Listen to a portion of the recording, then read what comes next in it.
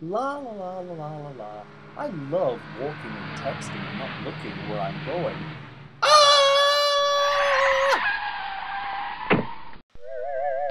Oh my, where am I going? Where am I floating to? Ooh.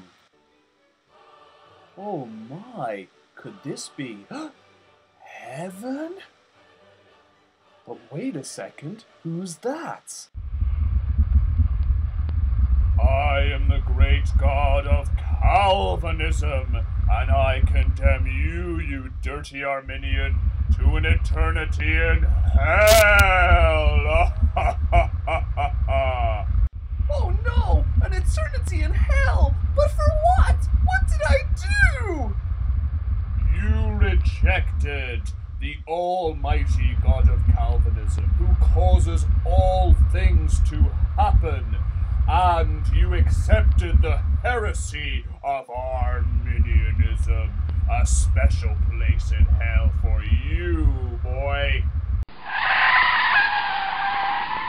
Wait a second.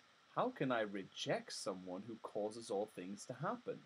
To reject means to refuse to cooperate with. But if you cause all things to happen, then it will be impossible to refuse to cooperate with you. Uh, uh, uh what? To reject someone means to go against their will.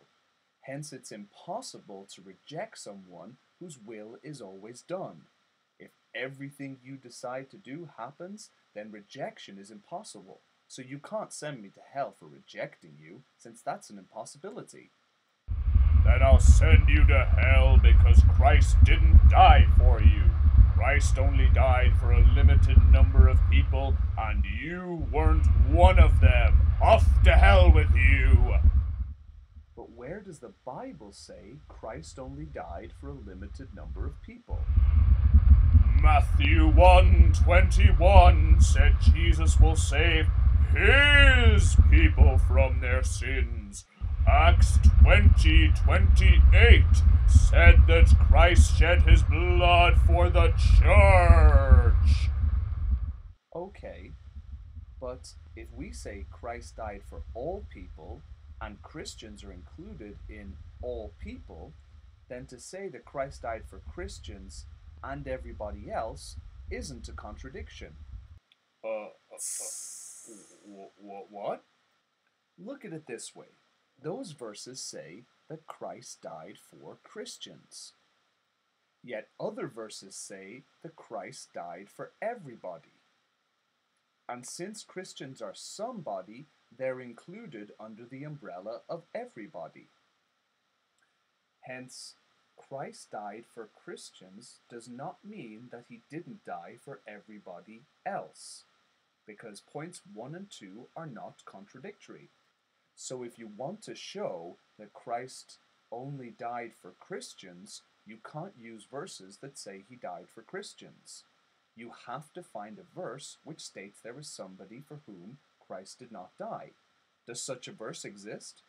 Well, well, no, but but you know what? I, I've been very, very patient with you, and I'm just about to.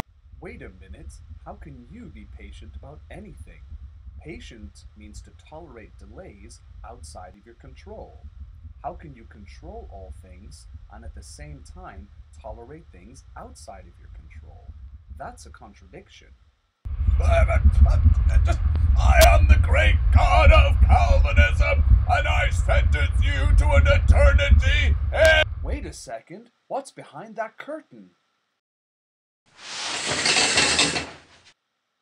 John MacArthur, R.C. Sproul, and John Piper, what are you guys doing here? Pay no attention to those fools behind the curtain. I am the great and mighty God of, of, of, of Calvinism. Oh, you guys were just pretending. The God of Calvinism isn't God at all. Hooray! But how do I get out of here? Follow the Roman road. Follow the Roman road. Follow the Roman road. Follow the Roman road. Follow the Roman road. Follow, follow, follow, follow, follow the Roman road. Oh, thanks for watching, folks. Bye.